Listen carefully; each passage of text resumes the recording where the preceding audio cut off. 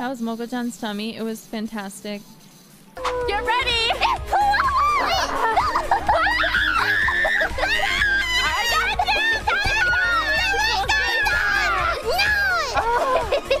I'm very happy.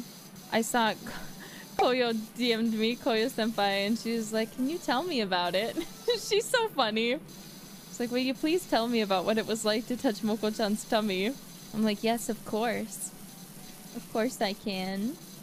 It was so nice. It was soft but firm. Moko-chan is very cute.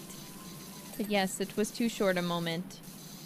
Too short of a touch. I need another touch coupon so I may touch it again. Though I'm sure Moko-chan would uh, object heavily. No! No, you can't! My cutie pie.